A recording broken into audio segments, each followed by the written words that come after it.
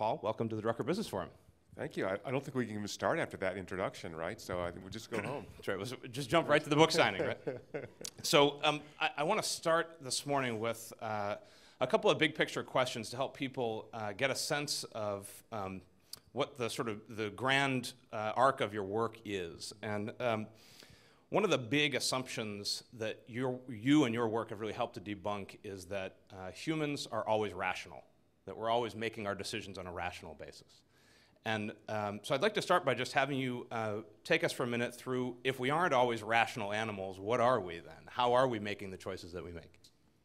Uh, I don't know. You've had your car fixed recently, right? You go to the car dealer and the guy says, um, You need a new uh, Johnson rod. And you go, I don't know what that is. They say, Well, it's 200 bucks. Your car will be ready to go. And what do you say? Well, I've been going here. It's the Chevy dealer. It's whatever, my corner shop, and I don't know what a Johnson rod is, but it's 200 bucks and my car can go, right? So why would you ever do that? So the standard model economics says that you should spend an enormous amount of time and energy to investigate this mechanic, what a Johnson rod is, does your car really need it?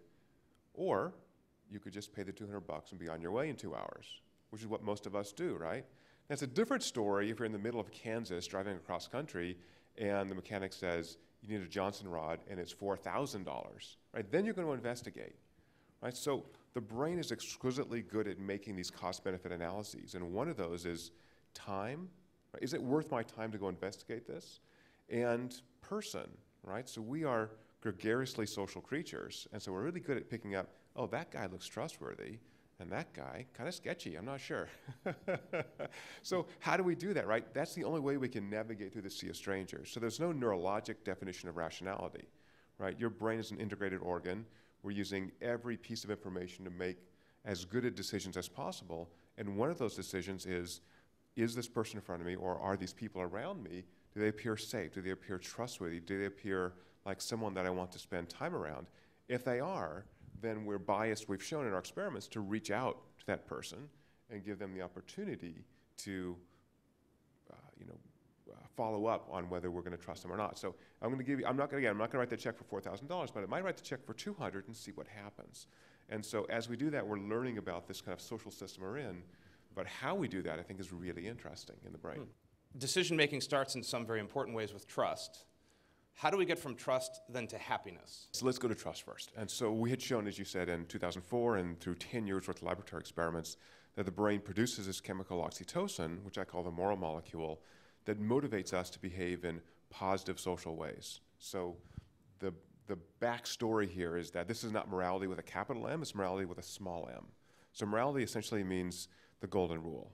So I'm going to treat you equal to my own needs, right? So I'm going to put your needs equal to mine if I put your needs above mine, I call that virtuous behavior, and we've investigated that as well. But let's just talk with this, this small m moral behavior. Why would you ever engage in moral behavior? Because that's what sustains you in the social group, right? So if I am that mechanic and I take your $200, uh, put in a rusty couple of bolts in your car, send you on the way, your car breaks down, what happens to me? People start talking, right? Say, oh, that mechanic's a cheat, never go there. I'm going to call the Attorney General's office. I'm going to do on and on and on and this guy's out of business eventually, right? This is a good short run strategy, perhaps, but long run, it's not going to work so well. Plus, you can have a lot of really unhappy people. They scream and yell, they throw bricks through your window, not so nice, right? So, so the first part is we're social creatures. So understanding we're social creatures uh, tells us that these sort of standard, um, narrowly self-interested models economists really like um, often don't work so well. So we have this underlying social nature and we've shown in these 10 years worth of experiments is that that social nature or those social behaviors are driven primarily by the release of this chemical oxytocin, which motivates us to connect to others. So oxytocin is this little ancient molecule. I'm getting to the question, I know.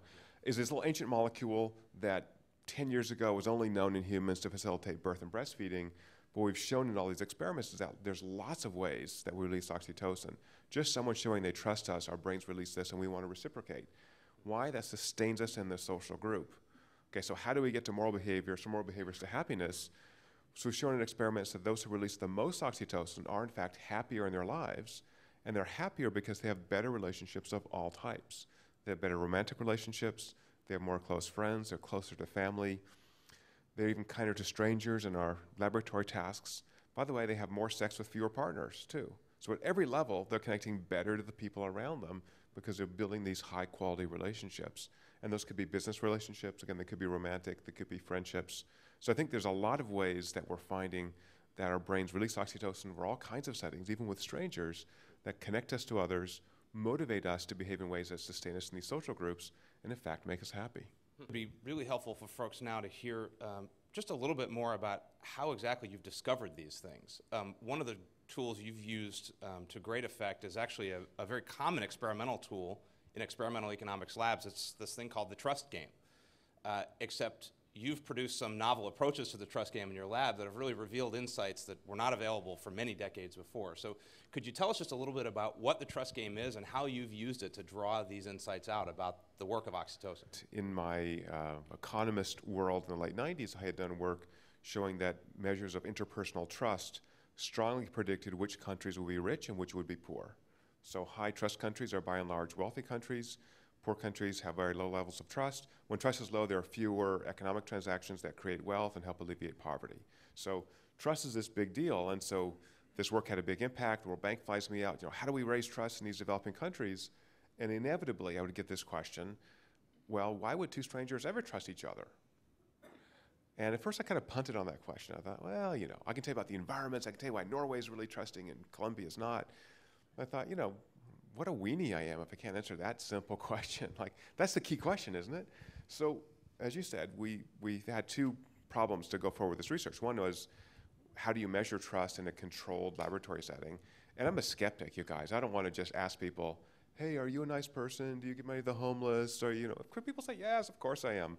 So instead, we had decided to tempt people with virtue and vice using money. Okay, so we would use this trust task, which I'll tell you about in a second. But in addition, because people don't clearly articulate why they're doing what they're doing, to measure brain activity while people made decisions involving trust. Okay, so here's the task. We recruit a bunch of people like you for this experiment.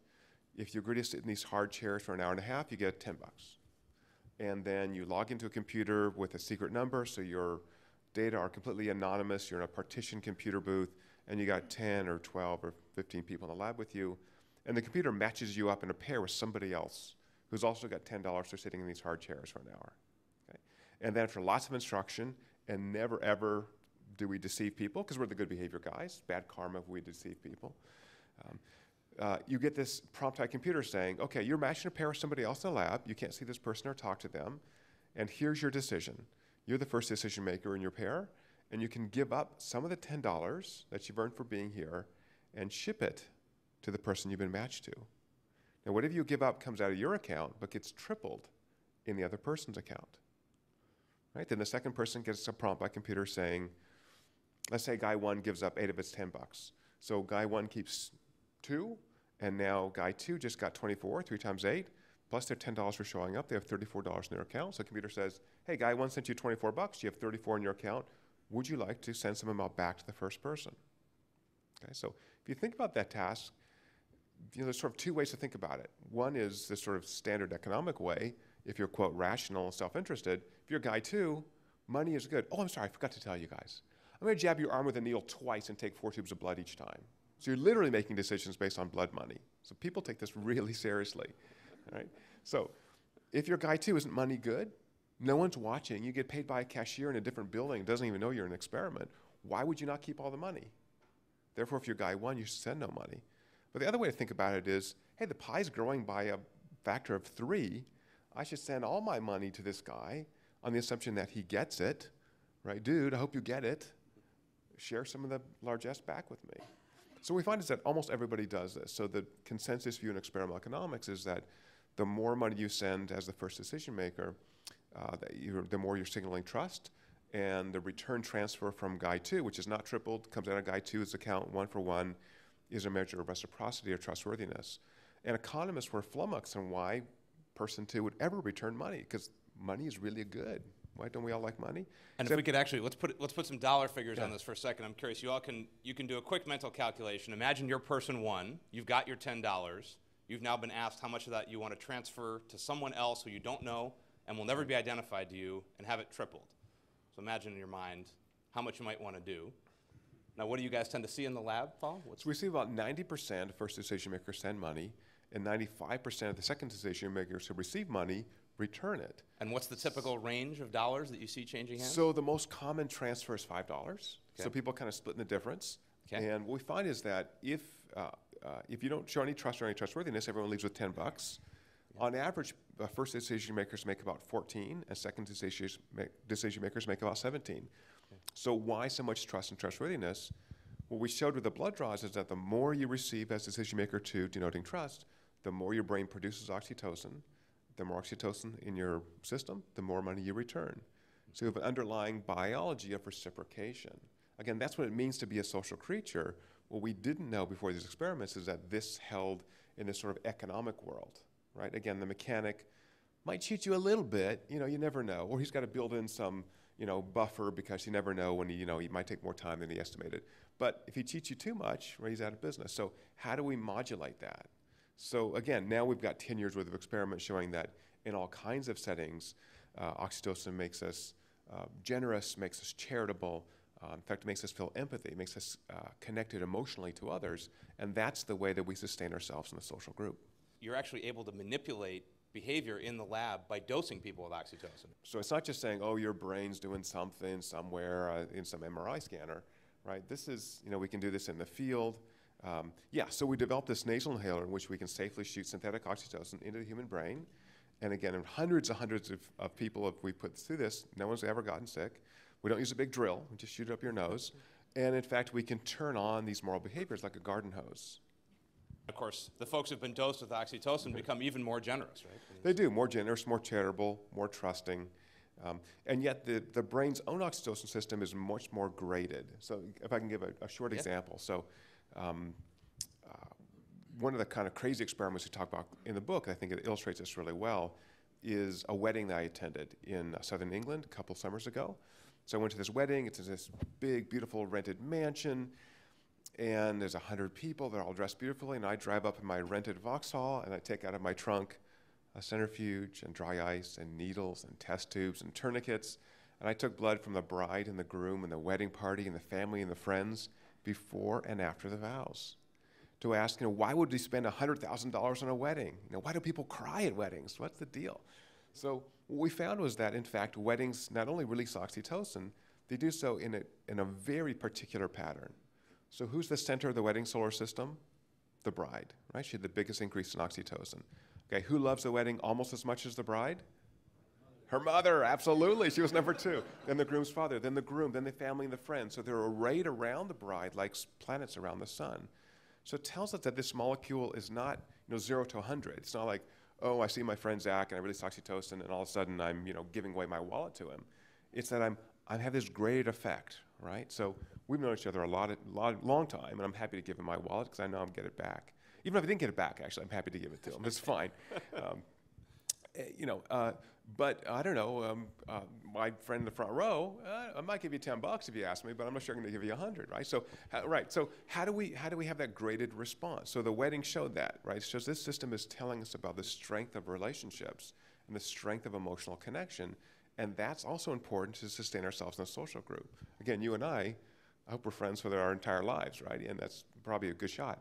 But you know, um, I don't know.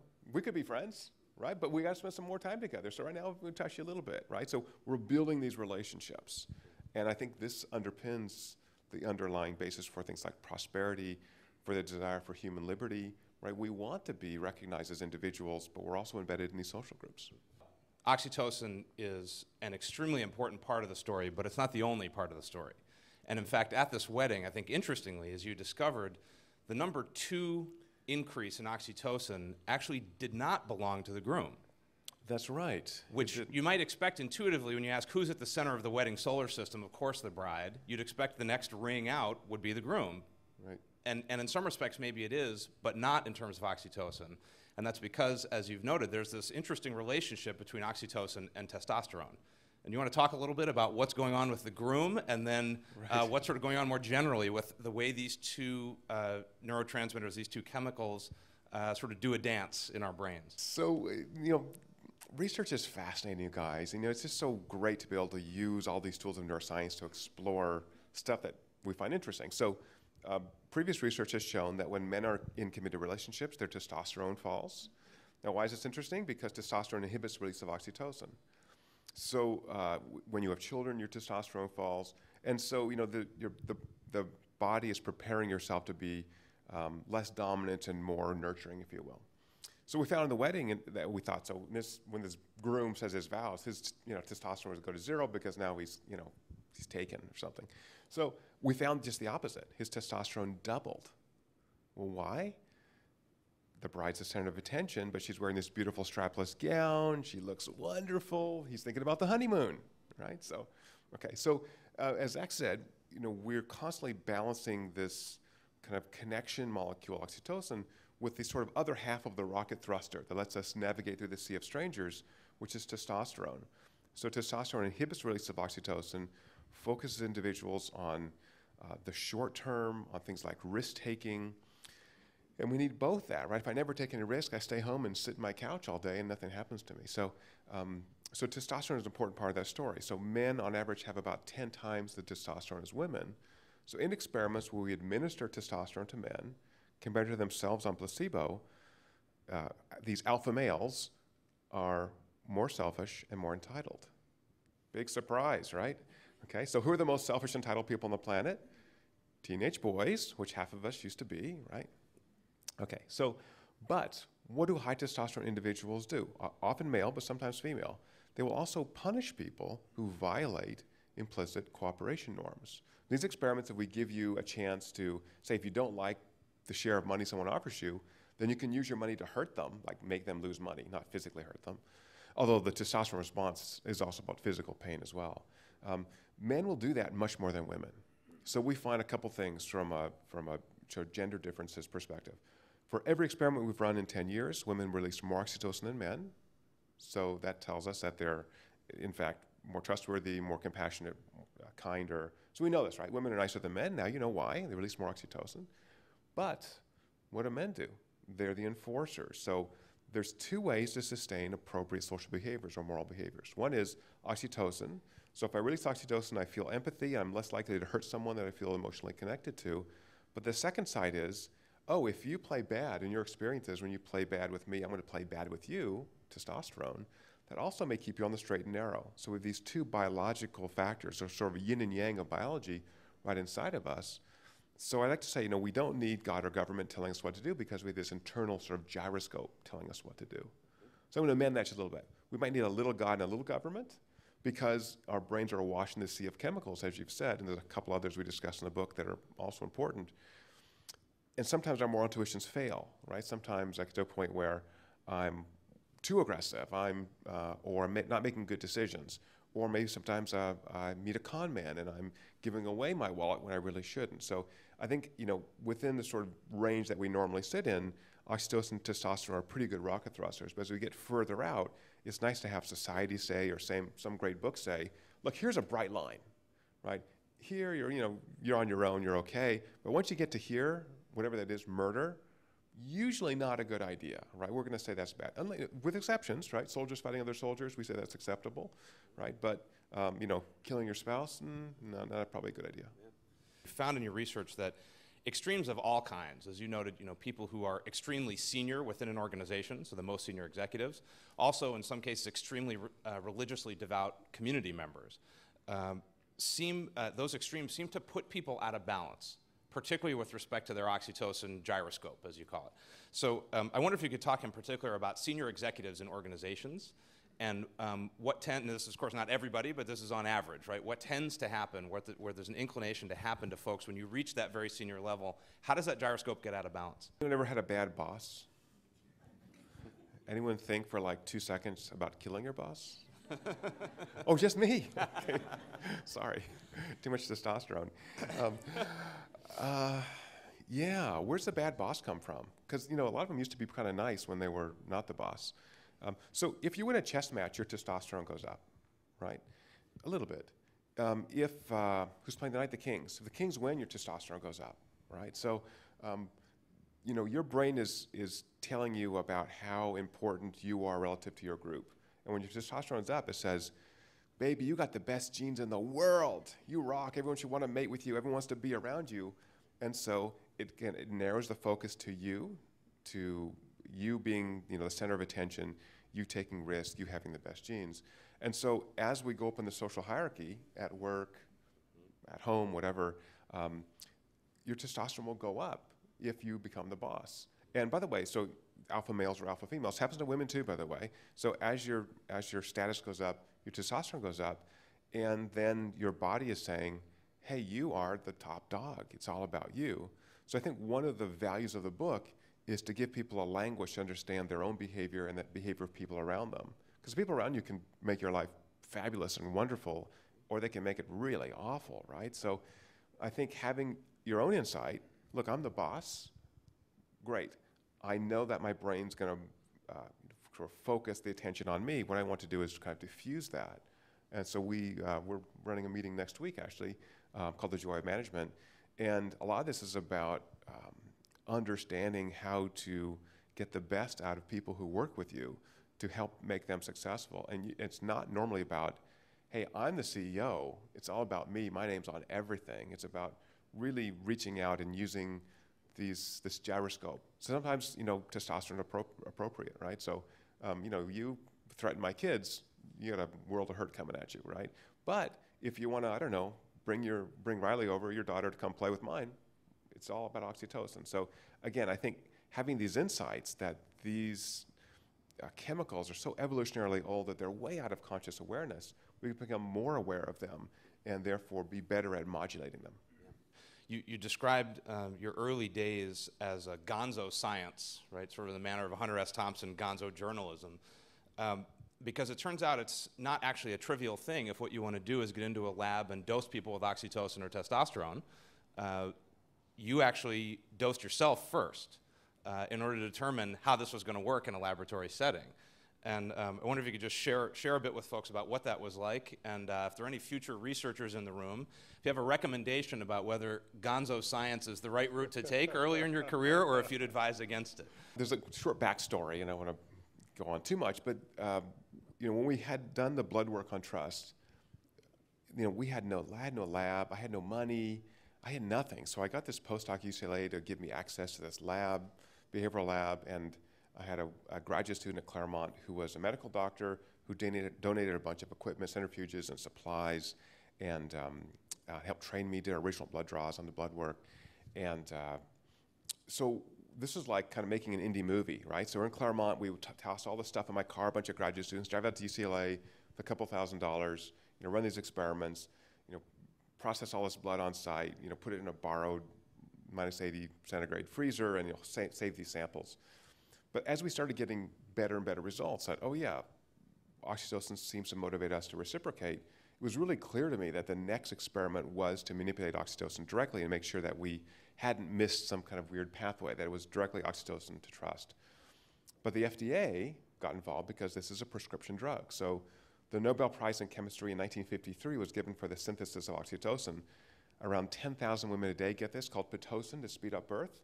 Right, that's what oxytocin was known for. So this drug's available. It's very safe. Right? It's got a 50-year history.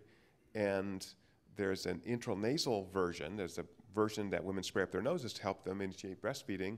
They went off the market in the US in the 1980s and is still sold in Europe. So I, I, don't know why women in Europe have more trouble initiating breastfeeding than women in the US, but anyway, still sold there. It's generic, it's very, very cheap. And so you fill out some paperwork from the FDA, you import it, boom, I'm doing my experiment. Except the FDA said, no, no, no.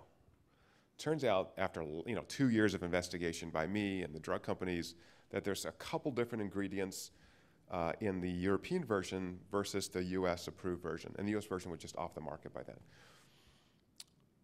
They said, no, you can't import this stuff. So in desperation, we did our first oxytocin inhaler study in Europe.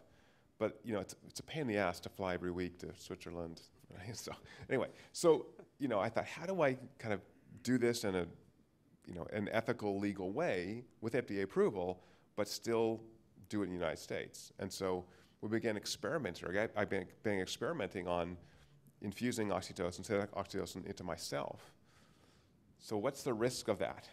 Oxytocin is this is signal of, of safety, and it signals safety in a lot of different ways in the brain, but one way is to reduce your heart rate, right? Think if you're stressed out, your heart rate goes up, oh no, uh, what's gonna happen to me? So this reduces heart rate a little bit, And so if you take too much oxytocin, you could pass out. It's not going to kill you.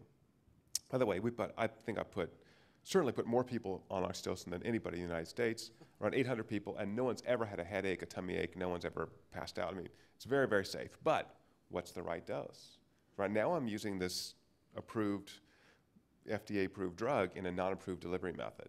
So, who will I test, my, test it on? It's got to be me. So, my wife's a physician. Her office, luckily, is about four doors down from the emergency room.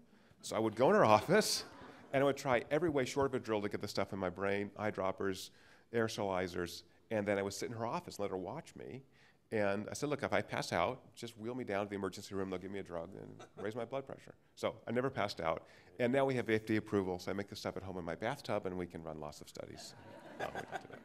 As you mentioned in the book, there are a whole class of not FDA approved oxytocin products that are now available out on the market. I think right. you at, at one point counted 76 pages of results on Google of products you can purchase that uh, promise in some way or another to administer oxytocin to you or to others around you and to produce some of these effects. Oftentimes, these companies are actually citing your research specifically That's to right. back up their claims.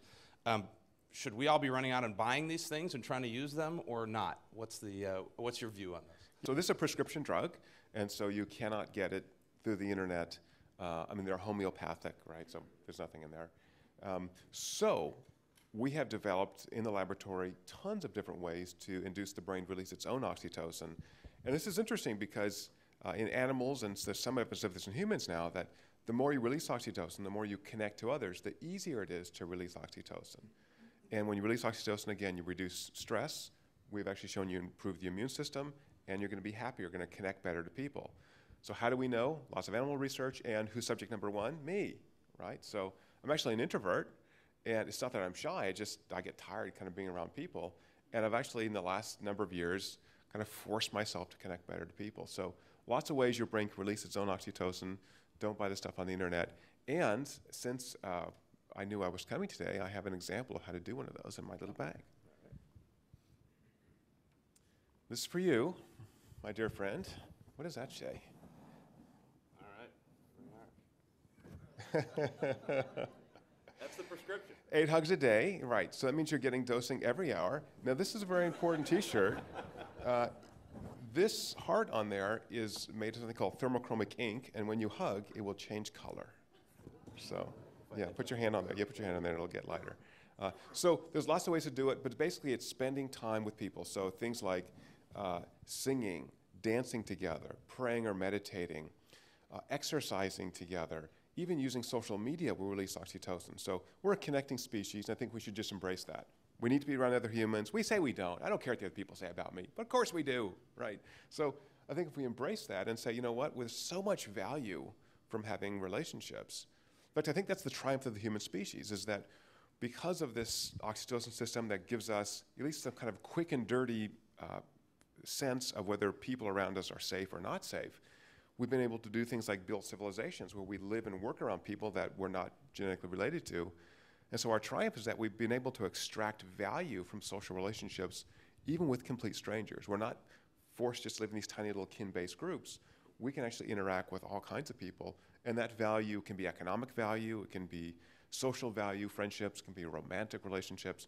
So we can do this with almost anybody, right? And so I think once we realize that, we're really connected to the entire human family and there's great value to having those connections.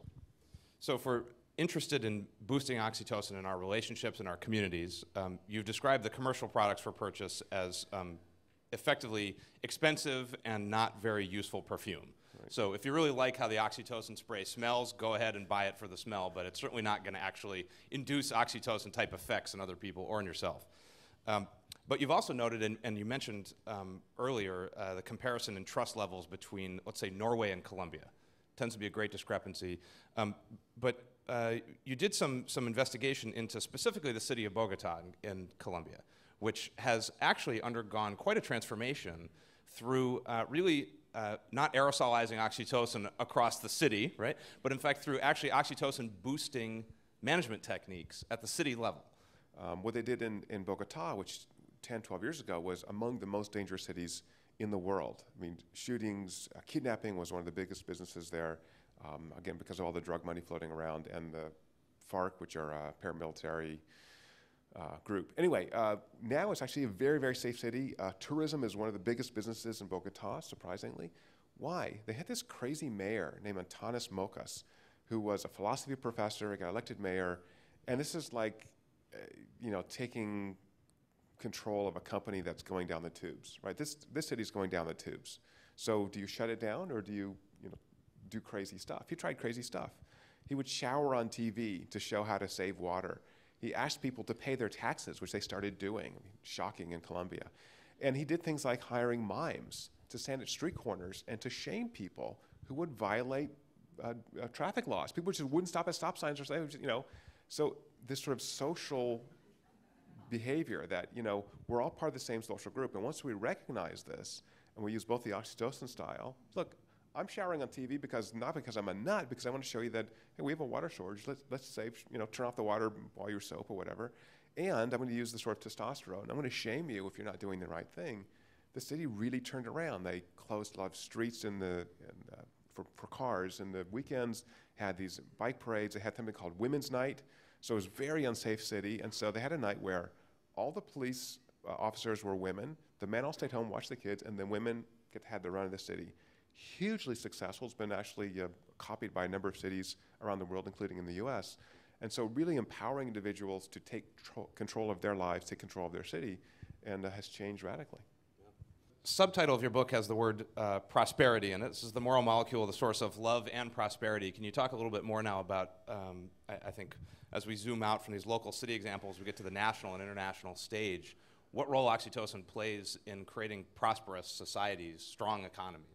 the you know love is always a complicated word for us. So, um, you know, when I speak to corporate groups, I encourage them to use the L word. So this is not romantic love. This is philia, right? This of care for other people around us. Oxytocin does motivate us to care for others, and we should recognize that in any organization we're in, for-profit, non-profit, government, we don't care about the people around us. It's just going to be a terrible place to work. Performance is going to be lower. And so I think you know embracing the L word is is okay. There's science behind it. It's not squishy. You can tell the people around you that you work with that you love them. It's okay. I love you. You know that. Okay.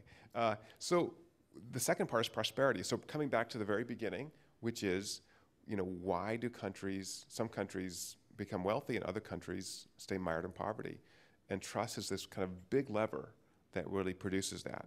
And when you have high trust, you can actually start this virtuous cycle in which um, trust is high, therefore I'm more relaxed and comfortable. I'm more able to release oxytocin. That motivates a variety of moral behaviors being trustworthy, being compassionate, being empathic, being generous, which can also facilitate things like wealth creation. Right now, I'm connecting better to people, I'm building more social relationships, which alleviates more poverty, which moves people away from survival stress, which gives them the luxury of releasing oxytocin, connecting to others. And now we have this positive feedback loop in which in some sense, the rich get richer and happier and more tolerant. So we have nice data in the end of the book on uh, things like toleration for people who are different than us, uh, trustworthiness, happiness. These all have a nice income gradient. So, um, you know, it's good to have money.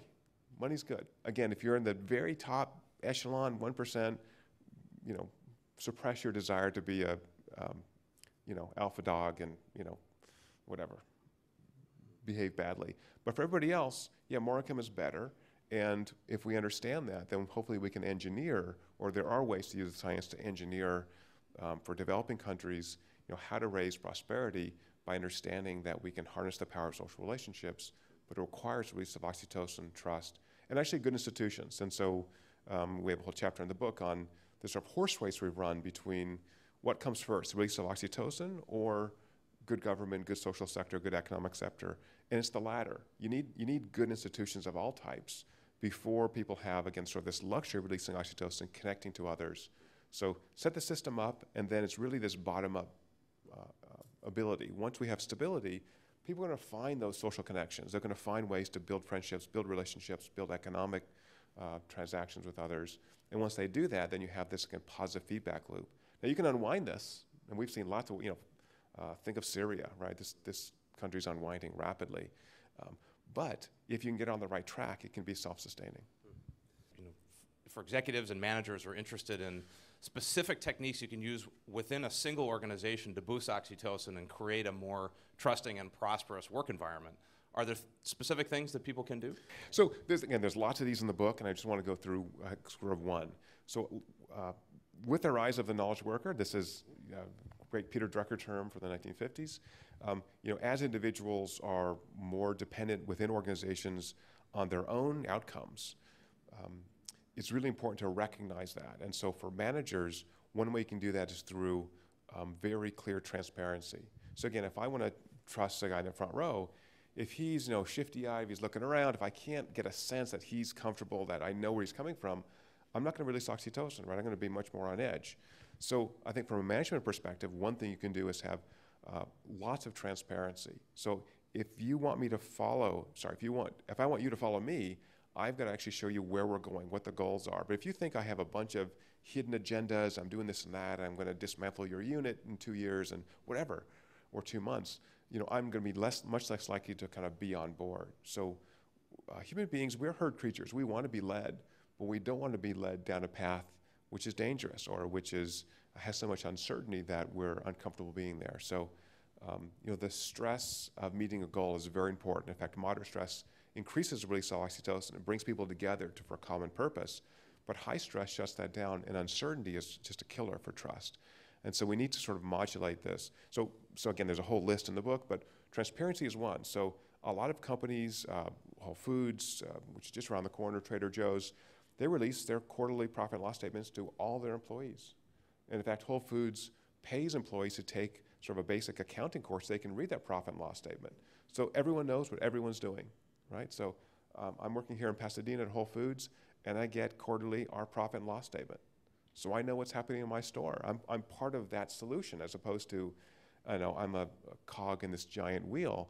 I want to be part of the bigger solution. I want to think about, hey, how can I help my store create better customer service? Uh, so I think that transparency is very important. And by the way, Doug Rauch, who's the former CEO of Trader Joe's, who I saw last week in Boston, um, mentioned that uh, their quarterly reports once were leaked to their competitor Whole Foods. And um, you know, that's the risk. So when you're transparent, it also means people can take advantage of you. Um, he said, you know what? So Trader Joe's is private, it's a private company, so they don't release public information. He said, you know, they, they saw our numbers, what can we do? You know? Um, so fine. So again, I think it's like individual relationships. You have to be willing to take some risk. Right, so oxytocin's like love, right? It is really the molecule of love. So you can't force someone to love you. You can love them and, and usually get that in return. Not, not usually, sometimes you get it in return. So the same way, I think with, within organizations and the lab I run and the department I run, you know, you, I have to make other people successful. I have to show them the path. I have to help them get there. And I want to make sure that, you know, they see everything I'm doing, uh, you know, because they're much more likely to be on board that way. So anyway, lots of others, but yeah. now we're That's losing great. time. Um, one more question from, uh, from up front here, and then we're going to uh, turn it over to you all to, to get engaged in the conversation. Um, Paul, you quote the popular Freakonomics writers. These guys have written a book and have a blog on the New York Times website, Freakonomics blog. Uh, Steven Levitt and Stephen Dubner's claim that, uh, as they put, quote, morality is the way we would like the world to work. Economics is how it actually does work. And uh, not so fast, you say in, in, in your book. And uh, what's wrong with with that view. Right. So as we've said over the past hour, you know, if you're not a moral creature, you're an isolated creature as a human being. And you know, while there are a couple of hermits who may enjoy it, I don't know, monks somewhere on a mountain. For most of us, we need to be actually even monks live together, right? They're not really isolated. So you know, we need to be embedded in these social groups, and moral behavior with small m is how we do that, right? You play nice, I play nice, um, and so that's kind of what makes the world go round and this actually underlies economics. So as you know, there's a whole chapter in the book called Moral Markets. That market exchange is very much based on not having a policeman in every corner, a camera in every shop, even though there are some cameras and some policemen, just a little enforcement enough. It's that most people, most of the time, um, will behave well. So um, morality is actually what differentiates us as a species, that we think about consequences, we think about the future, and having that long-term view means that we, again, are much better able to extract value from all kinds of social relationships, you know, around the world. And people do beautiful things. They, um, you know, they adopt little children that are not theirs and you know care for them as if they were theirs because we have this very strong attachment system right we get attached to pets we name our cars who's named their car I thought it was just me. Okay. So, right, why do we do that? Because they're moving. We spend time with them. We feel like they're part of our families, right? So, we're a connecting creature. And I think knowing that and knowing how we connect, what inhibits it, what promotes it, really allows us to um, get the most out of life in every realm. Uh, we're going to open the floor to questions. Uh, we'd ask you to uh, wait to ask your question until you've got the microphone in hand, please. And uh, let's go. I think the first one's down here. Um, how does uh, religion play into all this, the moral molecule, and, and does it actually diminish trust in that it promotes differences among uh, different religious groups? What a great question. So, um, so there's a whole chapter in the book on religion. So it's, you know, I don't want to spend 20 minutes talking about it, although we could spend an hour. Um, and there's a short backstory, which I want to tell you. So as I was writing this book, um, I had to sort of come to terms with why I spent 10 years studying the biology of morality. And the dishonest answer was, well, you know, trust is important to really alleviate poverty, and it's a good research question. Um, but I got 35 people in my lab all working on these issues. Why the heck? I mean, really. And um, as I started writing this, I realized that morality was a really big part of my life growing up um, because of a nun. I was raised Catholic, and that, this nun's name was Sister Mary Maristella. And she uh, decided to quit the convent in 1957, and a couple years later became my mother. Uh, so, um, so I avoided all questions of religion in my research at every cost because the sort of top-down "thou shalt, thou shalt not" just didn't make sense to me. Like only Catholics go to heaven? Why is that? It just didn't make any sense. So then again, I applied the weenie test to myself. I said, oh, I have to take on this issue. So the short answer is. Um, religious people don't release more oxytocin than non-religious people. But um, religion provides an opportunity to, uh, to practice uh, virtuous behaviors. You don't need that, but churches um, and, and, many other religious organizations give you a chance to reach out to others. They build community. So we've actually done experiments in churches, in uh, Buddhist monasteries, um, uh, in Aboriginal peoples in the, in the Papua New Guinea highlands, and all these rituals release oxytocin, connect people to their community. We don't find that oxytocin release makes people connect or report feeling connected to God or some ultimate reality. Um, so, um, some religions is probably good. I don't think the rituals are going away. Uh, by the way, I spoke two weeks ago uh, in Harvard at a uh, humanist organization, which is sort of atheist agnostic, and they are having now starting to build ritual because even atheists need ritual, right? You need community. So, um, uh, so I try to make a separation between my own personal views and what the science shows. And the science makes a clear distinction, as you've suggested, between um, a sort of an Old Testament God, very testosterone, punishing, you have to do this, um, versus a New Testament God, which is, and I think the, the brilliance of this crazy hippie guy Jesus in the New Testament was just love everybody, right? That's pretty good um, advice. So um, I think we can take that heart. Just love everybody. So I got that nickname, as you know, Zach. I got the name Dr. Love because um, I want to promote this. That love's a real uh, uh, physical uh, reality. And um, at first, I was sort of embarrassed when people call me Dr. Love. I thought, eh, what what better thing can I do than to promote love? And uh, you know, the easiest way is the eight hugs a day. But yeah, just just be opening up. So yeah, I think religion can train that. By the way, in our sorry, long answer, but in experiments where we do make religion um, a salient. So we have people, for example, worship in the lab. Um, depending on which religious group you're in, um, people get very in-group biased. So um, I'll, I'll let you read the book to find out which groups those are, but you might be able to guess. Uh, but anyway, um, but we can do this with, by the way, soldiers as well. So we have soldiers march in the lab, take their blood, measure their oxytocin. Their oxytocin's up, but then when they come to sharing money or trusting others, it's all about trusting other soldiers and not the civilians. So, um, you know, we can't connect to everybody. We can't share our resources with everybody. So, you know, the, on a first cut, if I don't know who to interact with, I'll interact with people who seem to be part of some group I'm a part of, my religious group, my work group. Um, so I think we have to work a little harder to extend that circle of empathy um, beyond our own groups. Yeah, thanks. Great question. Yes, right here in the second row in the, toward the back. Hi, I was thinking about the Milgram study in the 60s, the famous Yale study, uh, with respect to trusting authority. And I'm wondering how that study and some of the things that you have discovered in your most recent research, uh, if there are any insights uh, correlating those two very famous studies. That's a great question. So uh, the short answer is I don't know. So the, the Milgram study, for people don't know, is a study where uh, I think it was in the early 60s where um, a researcher kept telling you to turn up the electricity and you're, you purportedly were shocking this person and they're screaming and crying at some point. They say, turn it up the electricity, they got, you got to finish the experiment. And, um, and some, the majority of people continue to do that even though, you know, the, they potentially were killing this other person. Um, so we certainly are good followers and oxytocin release um, makes us want to kind of join the herd. And, um, but having said that, I think the, the Milgram experiments were much more about uh, stress, about us feeling the pressure to conform. Um, so we found with oxytocin is that it's much more of a bottom-up, kind of organic process of connection rather than this top-down. So again, in experiments where we have sort of authority figure, um, some people will follow the lead, but others actually will rebel. So I think one of the beauties of things like the rise of the internet um, is this sort of democratization of news, of um, uh, direction, uh, people really relying on themselves. And, um, you know, I think it's a balance between being self-reliant and then joining the group. So I don't have a great answer for that, but I think, you know, what we're seeing in the world is this sense of uh, greater self-reliance, greater uh, self-organization.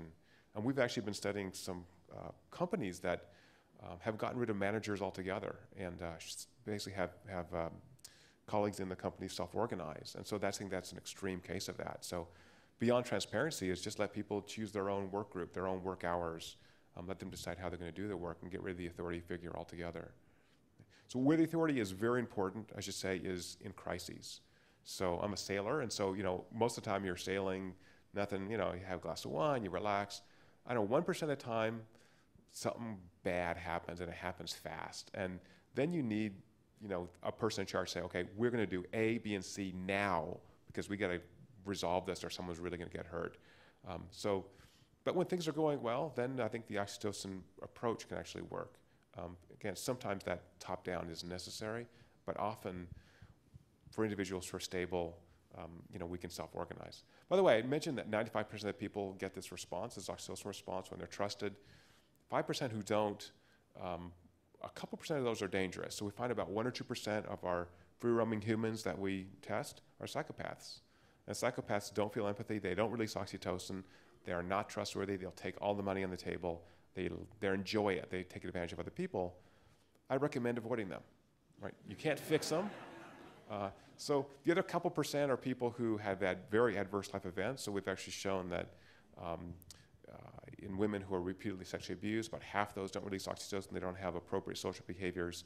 And you have the highly stressed out people. So high stress, as I mentioned earlier, is a big inhibitor to appropriate social behaviors. You guys know this. When you're super stressed out, you're not your nicest self. Uh, so again, we wouldn't expect everybody all the time to behave in this caring, loving way. But most people, most of the time, absent you know, real pathology, can be counted on to have this reciprocation. Again, because that's our nature as social creatures. Yeah, thanks. No more questions? We've, we've blown them all away. Yes, please. ma'am. Right here. Uh, Just as a follow-up to that comment, uh, to avoid uh, the psychopaths. Yeah. So is there any little experiment we can do to identify the psychopaths among us? If I can get their blood, uh. So we've actually shown they have highly dysregulated oxytocin. By the way, this is the same for people with social anxiety, with autism, with schizophrenia. And we didn't talk about this, but you know, this crazy little molecule that no one cared about, there's no really, there was no medical disorder known to be associated with too much or too little oxytocin 10 years ago, other than preterm labor. Um, it just wasn't seen to be, didn't have any effect on the brain. It was just this kind of birth hormone. Um, now there's a ton of clinical trials going on. So um, there are um, kind of intriguing bits of evidence that oxytocin may help alleviate some of these um, inappropriate social behaviors in psychiatric patients.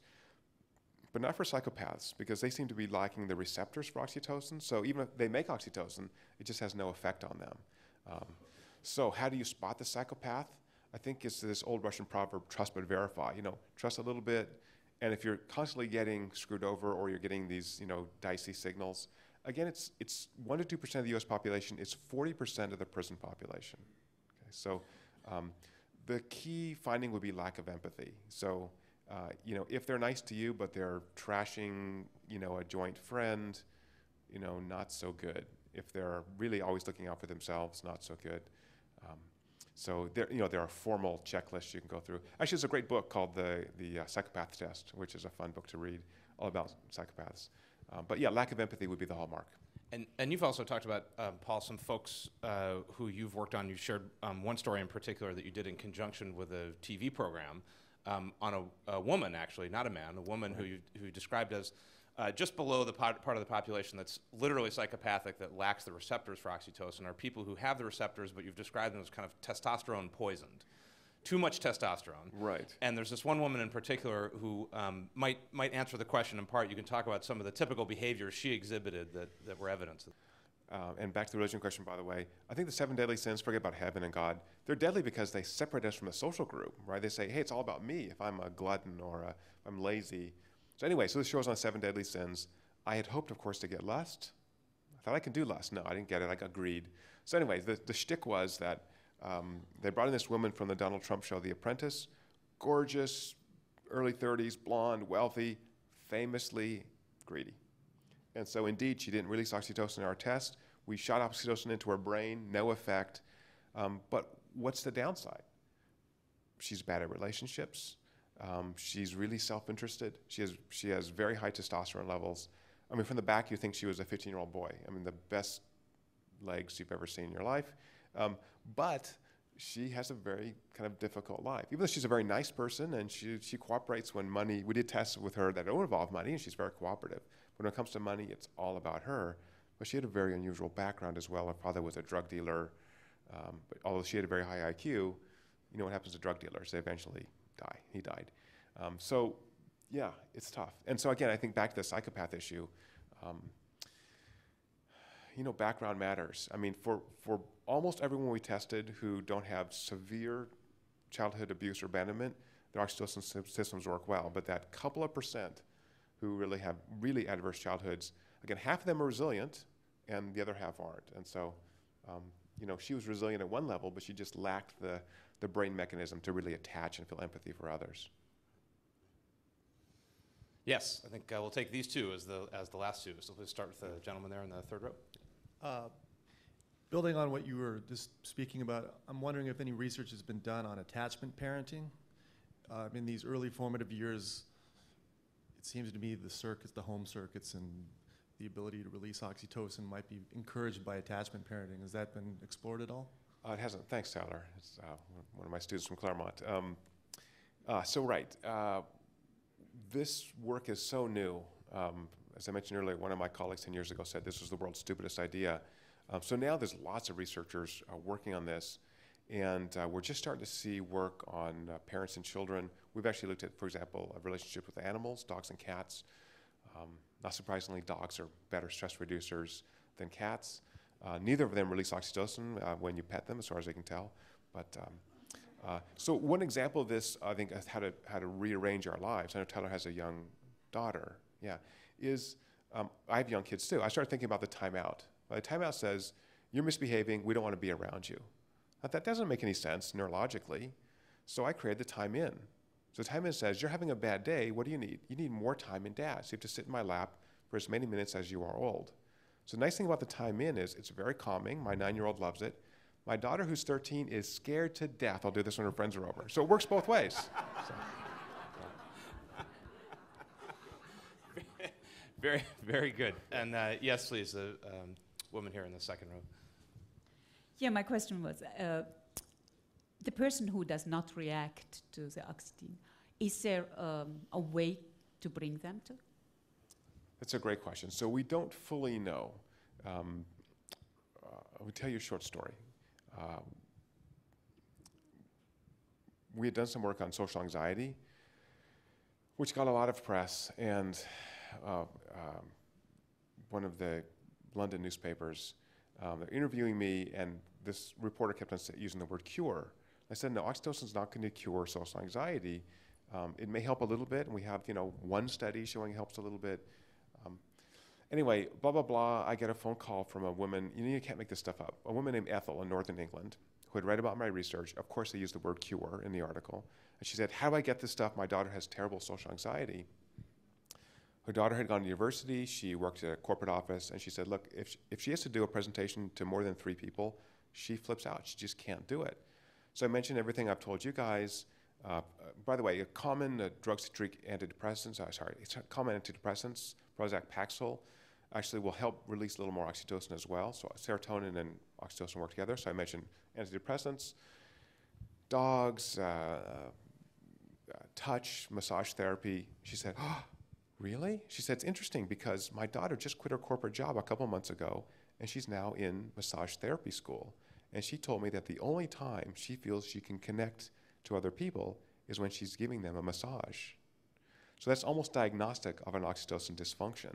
So, so this woman found a way to connect to others. So again, absent the psychopaths and people with really adverse life events, there's evidence that we can train ourselves to release more oxytocin. If you're way out there, probably you can't. But for most people, I think we can get better. And so we just have to find the ways that kind of work for us. And usually it's going to be somehow in community. Um, you know, that could be your health club, it could be your church, it could be your place of work, um, or it could be the particular actions. And so, again, one short example is because my kids are little, we have the no electronics rule. So when we're going out as a family, all the electronics go off. I mean, I leave my phone on just for emergencies, but I try not to take calls and really be fully present and make sure that my kids feel like I'm really there for them. I'm really paying attention to them, the most important thing in the world. But then port that over to every other relationship, right? Wouldn't that be great if your spouse, if your friends, if you were really there and think how much closer you'd feel to them, and boom, now we've got the positive feedback loop going. So, um, yeah, great question. So I'll be around. I'm happy to sign books or just chat uh, out in the lobby. And uh, Moral Molecules, a wonderful read. Paul will be signing books. Let's thank, thank, him so for much, his time guys. here. Thanks for coming.